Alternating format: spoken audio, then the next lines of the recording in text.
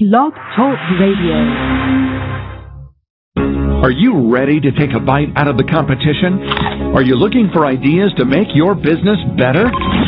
Welcome to the Core Business Show with Tim Jacquet, sponsored by Apple Capital Group. At the core of every successful business, you'll find people making a difference. And with each episode of the Core Business Show, we talk with those people, examine those ideas, and explore the strategies that make them special. Now, the host of the Core Business Show, Tim Jacquet. Good morning, everybody, and welcome to another episode of the Core Business Show. I'm Tim Jacquet, your host. Today, I have the pleasure of having Tom Corley. He is going to talk about his book, Rich Habits, the daily success habits of wealthy individuals. We're going to take a break for a moment for our sponsor, and we'll be back with the show. You're listening to the Core Business Show, sponsored by Apple Capital Group. Apple Capital Group in Jacksonville, Florida is a commercial lender that specializes in asset based loans, equipment leasing and financing, invoice financing, commercial real estate loans, and asset based financing in the U.S. and Canada. Apple Capital Group is a direct lender that lends on their private equity investment portfolio. 90% of most loans are decided within two hours, and vendor funding within 24 hours after documents are completed with a one page application. No slow no's, just a quick decision and a fast yes. To get more information about lending from Apple Capital Group, call 866-611-7457. That's 866-611-7457 to speak with one of our loan specialists. Or visit us right now at applecapitalgroup.com. Welcome back to the core. Once again, here's Tim Jacquet. Well, welcome back. Tom, good morning. Hi, Tim. Thanks for having me on your show. Oh, thank you. I guess to begin with, listeners love to hear personal stories on how our authors come to be. So kind of tell us about yourself, where you're from, and how you came to be part of this industry. Sure. I'm uh, from New Jersey, and I'm a CPA, certified financial planner. I specialize in financial planning and tax. And lately, I've kind of taken on a new career, I guess, with the success of my book, Rich Habits. So I've been doing a lot of writing and speaking. And, you know, mostly what I talk about is how to help people to break free from the uh, cycle of poverty. Wow. How did you come up with the title Rich Habits? Actually, I believe that that just popped into my head one one night. It was I was struggling. I had done this research, uh, which took five years. I studied the daily habits of 233 wealthy people and 128 poor people. And the idea for the book came later on and popped into my head one night because I was just searching for a name and Rich Habits to me was the perfect title because it represented everything summarized everything I was trying to convey in two words. Wow. You know, looking at your, your that title, Rich Habits, what are the main differences between what you see between the wealthy and the poor? I mean, of course, income and money is going to be the factor. But what are the major differences you see in between the two that one can, uh, wealth necessarily doesn't bring you happiness, but what do you see that's kind of parallel that you see in both cases? Yeah, well, in my research, the byproduct of that was 201 activities that separate the wealthy from the poor. And some of them are, for example, 77% of the poor people in my study watched more than an hour of TV a day, whereas the wealthy people, 67% of the wealthy watched less than an hour of TV a day. 74% of the poor people, they spent more than an hour on the internet in recreational use, and 63% of the wealthy spent less than an hour.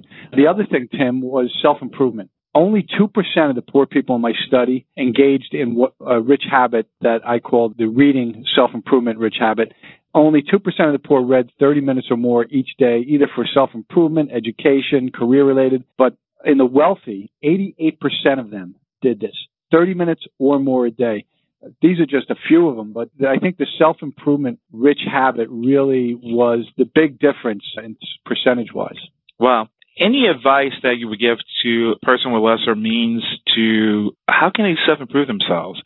Yeah, there's rich habit number one. I call it the reinvention habit. In order to begin this whole process mm-hmm. of changing your life, you have to change your habits. Your 40% of all of our daily activities are habits. So if you have a more good daily success habits than you have poverty habits, uh, you're 40% of the time you're on the right track. So what you need to do is you've got to break down what your bad habits are. You got to, and I show in the book how you take out a piece of paper, two columns. The first column are your old bad habits, and you just list as many of them as you can think of. For example, let's say, you know, you smoke cigarettes. That would be a bad habit. Then I show you how to invert those bad habits to rich habits. So instead of I smoke cigarettes, the new rich habit is I did not smoke a cigarette today. Uh, now you might think, well, not smoking a cigarette, how could that be a rich habit? But the idea is you want to get the seesaw. I call it the seesaw of success. Mm-hmm. You want to get the seesaw in your life. On one side are poverty habits, on the other side are rich habits.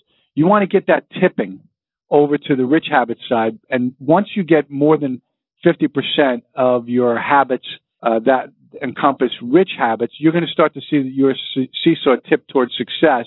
And over time, you're going to experience more success. Wow, that's something else. Kind of tell us in your book itself. Can I name us some of the things that that we can use to improve ourselves? But just kind of talk about your book in general. Yeah, the rich habits really was, as I said, came after I completed my research and created the Rich Habits training program. I was doing, I was going to create the program really just for my clients, but I started teaching it outside of my client base and I had so much success with people that they told me you should write a book about this stuff. So I decided to try and summarize all of these 200 activities into j- simple habits, t- simple daily success habits that you could follow and if you follow them, it will change your life. So I have 10 rich habits that I summarize in the book and I get into the detail through the incorporating the book as the training program so that the readers not only get a good story, but they are introduced to the training program and they start out with rich habit number one and I work them through all the way to rich habit number 10. And by the time they're done, they have a, a new template for life. Okay.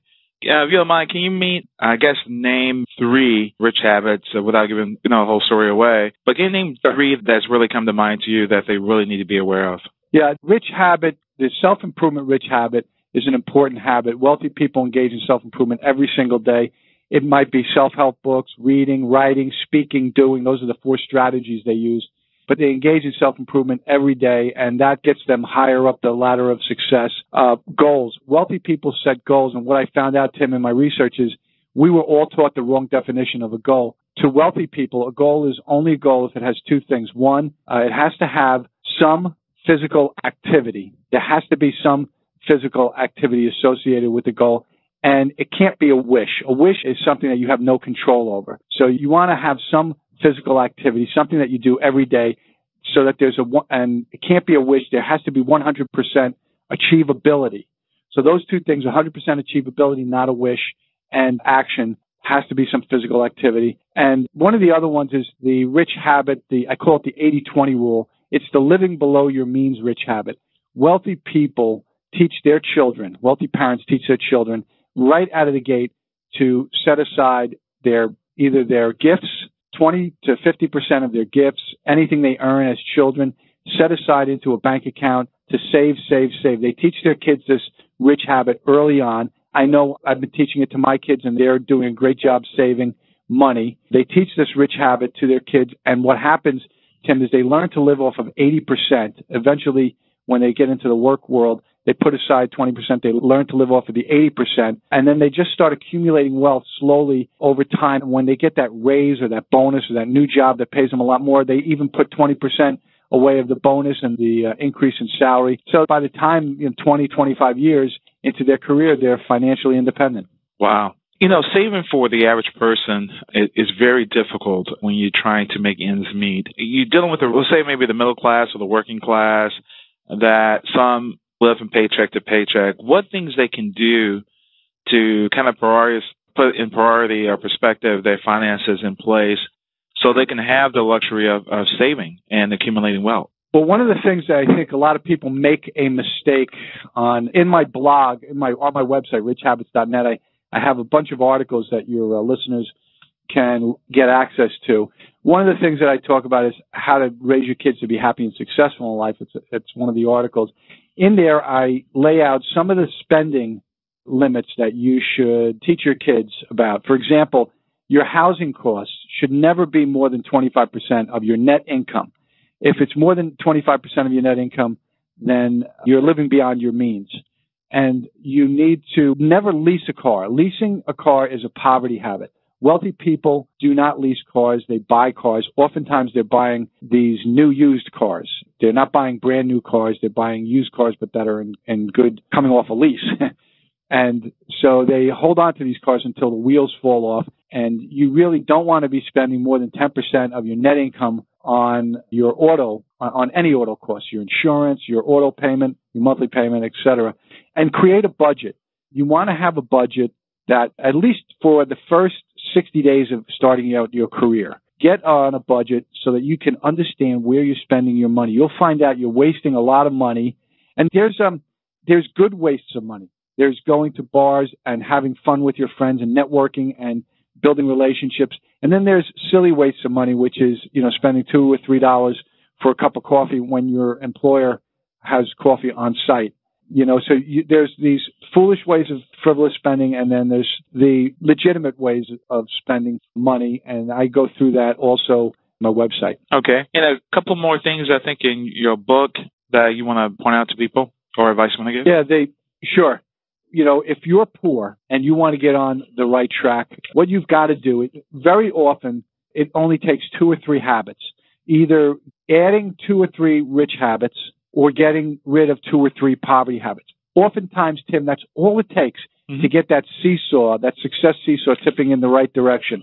And if you don't assess yourself, self assess, so that you understand where you are in life in terms of your habits, then you're going to uh, get caught up in what I call the generational cycle of poverty.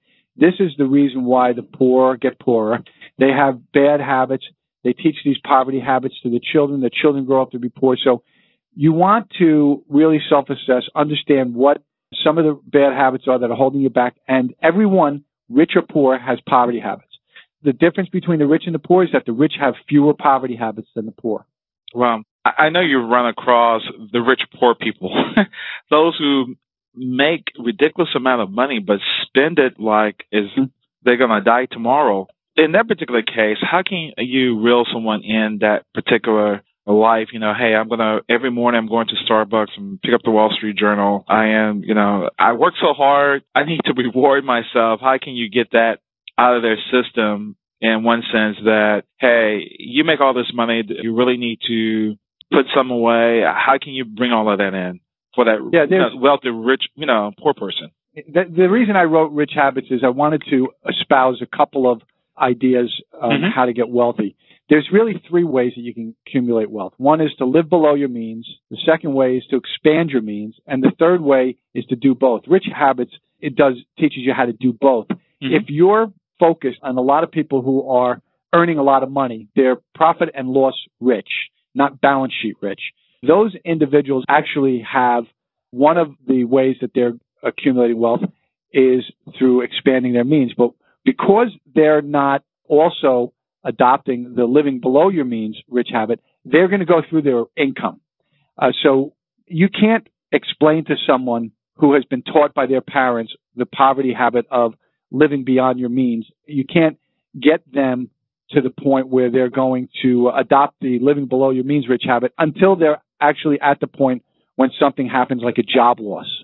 Uh, I have, I, for example, one person in um, been involved with for the last three years, trying to teach them the rich habits as a client. They made you know anywhere from five hundred to a million dollars a year for about six or seven years. Have nothing to show for it, and when they lost their job, that's when they came to me for advice. And now they're living the rich habits there, and hopefully they'll uh, be able to expand their means again, and they won't make the same mistake twice. The reason I wrote Rich Habits is so that you can learn from what wealthy people do and adopt these rich habits so that you don't make the mistake that a lot of poor people make on every day. Wow. And you talk also within the anatomy of a, of a goal. How important is to set a goal? Well, I think if goal setting is uh, critical, it's it's one of the most important things you can do. The problem that we've had, Tim, is we were taught the wrong definition of a goal, and and everyone who I would say everyone, but most of the people who set out and adopt the goal setting teachings and they try and set goals, they set, you know, an annual goal, they set a monthly goal. The problem with that is they were taught that a wish is a goal And it's not. Uh, wishes, you have no control over the outcome of wishes. A goal is only a goal when you have 100% achievability and there's some physical activity associated with it. An example is I did a learning session on goal setting a number of years ago, and one of the individuals in the group was a very successful property and casualty insurance agent. Mm-hmm. For four years, he was trying to get his life insurance commissions up to $100,000. He never even hit 40,000. So he came to my learning session off of an ad and he was hoping there would be something different because he had gone to several of these different, you know, ads to, for seminars. And what I explained to him was you were making a wish, you weren't setting a goal. So we, I sat down with him later in the week and I showed him how the actual goal is making an additional 10 or more telemarketing phone calls a day. So he went back to the office and he started, uh, had some people starting to make additional telemarketing phone calls and he blew past his 100,000 in commissions in Wow. the pipeline in six months and ha- actually had to shut down the process because it was so successful and he had to get the rest of uh, the business through the pipeline. Mhm. And then he started it up again. But he called me and he said, my God, you got to write a book on this stuff. So he was one of the reasons why I decided to write a book. This, the goal setting process, the rich habits goal setting process is so powerful. That alone, and that's the thing that makes rich habits so unique is you don't need to adopt all the rich habits. You might take one rich habit and it could turn your life around like the goal setting one.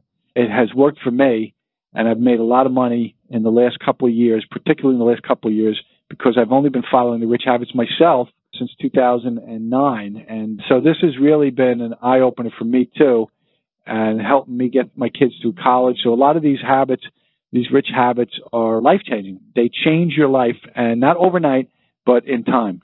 Uh, how do you know when you're on the right track of financial success? What you need to do is, in order to, to even start the process, to get on the right track, you have to, that's why rich habits, number one is the reinvention habit. You have to start to reinvent yourself. You have to start to get rid of some of your poverty habits and adopt some of your, some of the rich habits. What'll happen is in the first 30 days, you're going to experience a, a shift in your thinking. It's going to go from negative, pessimistic to positive, optimistic and you're going to start to feel better about yourself. And because you're doing certain things like the daily reading, you might even be doing some writing. You might even decide, hey, I'm going to, you know, join Toastmasters and start to learn how to speak. A lot of wealthy people speak. And you start doing these things and you start feeling better about yourself. You start improving and you may not notice it, but the people at work notice it. The people around you notice it, particularly your supervisors notice it. And in a little while, it's incremental, but it's like snowflake, call it snowflakes on a mountainside. Each one of those rich habits that you follow every day is like a snowflake. It builds up and it builds up like snow on the mountainside. And eventually you have what I call an avalanche of success event. And it might be a bonus, a raise. It might be a new job. It might be any number of things because you're doing certain things that are creating, ultimately creating this success event. So you have to start the process. You have to keep with it and you're going to find out within 30 days your whole thinking changes. Okay. And what advice do you have for the unemployed in order to get back on track? Yeah. The one of the 80% of all jobs come from somebody you know. Mhm. Now, if you're unemployed, the chances are the job you're going to get from anywhere is going to come from the people you know. So why don't you expand the network of people that you know? Join nonprofit groups. A lot of these nonprofit groups, these charitable groups, uh, the people that head these groups are on the boards and on the committees. I know because I'm on about three of them. Uh, they're wealthy, successful people. And they, in time, as you get to know these people because you're working with them, uh, they'll open up their Rolodex to you. If they find out that you're in need of a job, uh, they'll make phone calls for you because they're connected to you, your inner circle. You have to get inside the inner circle where these influencers are. And then one of the best ways to do that is through volunteering, through networking, civic groups, business groups. Join a couple groups. I mean, you're unemployed. This will give you something to do. Uh, you're building relationships with all these new people, and it may take some time. It's not going to happen overnight, but it could be as little as six months that you meet a few people who will help you get on a new job or refer you to someone who is an influencer, and then the next thing you know, you've got yourself a job and you're on the right track. What about the opposite end? If you are wealthy and you have some money, you're doing the things that you need to do to keep, just like the insurance agent. Maybe I'm there, but I want to do better. What advice do you normally have to give to that person so they make it to that next level? Yeah, I think it goes back to rich habit number one. You want to self assess. You want to find Okay. out what rich habits you have on your seesaw, your success seesaw, and maybe add one or two. That's probably all you need to do. Okay. I know a few of the wealthy people that I've talked with, and not wealthy, but high upper middle class.